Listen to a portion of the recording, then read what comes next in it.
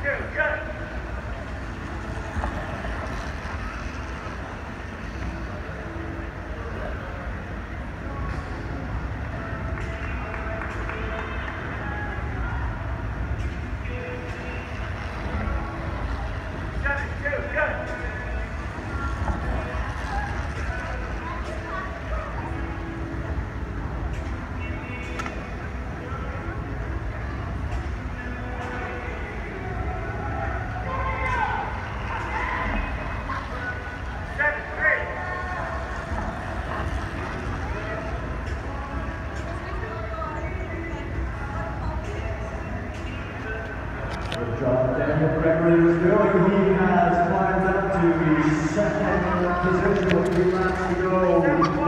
Second ranked with three laps to go, Daniel Gregory. He is motoring and finding a little bit more speed. Here he goes. Than two to go for Gregory. Into first position, Daniel Gregory. Look at him go.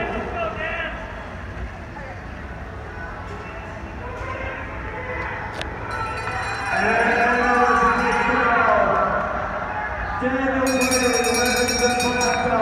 there's the medal for Nolan Perez, but it's Daniel Gregory brings it home in first position.